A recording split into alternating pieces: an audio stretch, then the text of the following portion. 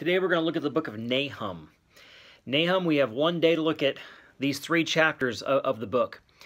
And the theme of this book, I would say, is don't rest on your laurels.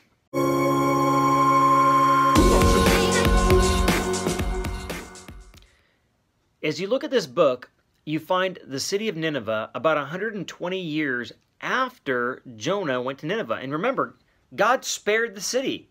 And now, 120 years later, God says, I'm going to destroy you. And look at why. The Lord, verse 2, is a jealous and avenging God. God's jealous because he deserves all of your love. They had an amazing revival, and now two generations have come and gone, or three, and they have forgotten God. The Lord is avenging and wrathful. Don't be on that wrathful side of him. Don't be on the avenging side of him. Verse 3 The Lord is slow to anger and great in power. His way is in the whirlwind, that's a tornado, and in the storm, a hurricane, and in the clouds the dust of his feet. He rebukes the sea and makes it dry and dries up rivers. I mean, you're talking about the livelihood of a nation. Bashan and Carmel wither. These are great mountains. The bloom of Lebanon withers. The mountains quake before him. I'm talking about earthquakes. Who can stand before his indignation? No one. Pride is stupid. No one can stand before God. Verse 7 The Lord is good. Thank you, God, that you're good. If you weren't good, we'd be all lost. A stronghold in the day of trouble. I need this place. I need this stronghold in God. He knows those who take refuge in Him. Does He know you? Do you take refuge in Him? That's the only place to take refuge.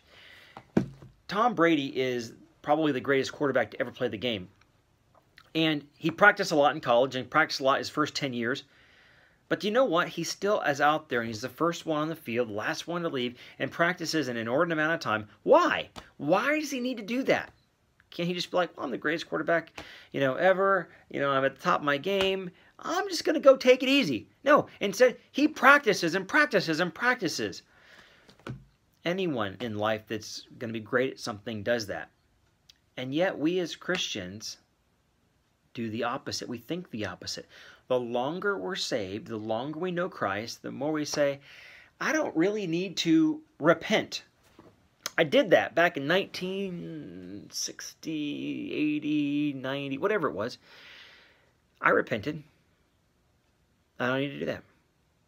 And the problem is, you have a heart that leaves God temporarily for this and for that. It's a constant need for repentance that we have to have in our life. And this book of Nahum here, this can become your life story. A story of amazing grace and, and God relenting of disaster he was going to put on your life. And then for whatever reason, you get resting on your laurels. You're like, eh, God's uh, been my refuge a long time, but now I can kind of just play it fast and loose. I can kind of do some things. I can take some liberties. I implore you, don't ever think that. You cannot take liberties with your morality, with the Word of God. Be careful about that because that's the book of Nahum. Nineveh does get destroyed. Nineveh is still over there in the Middle East. The ruins are over there, and the ruins are from when it was destroyed. And our lives can be like that if we don't take every precaution to humble ourselves before this great God of the whirlwind and the storm. And so today, take some time, do an inventory, a search of your life, and say, Lord, how are we doing? Is there anything you need to change in my life? Do I need to humble myself for you? Because if you do, let today be that day that uh, Jonah happens and not Nahum.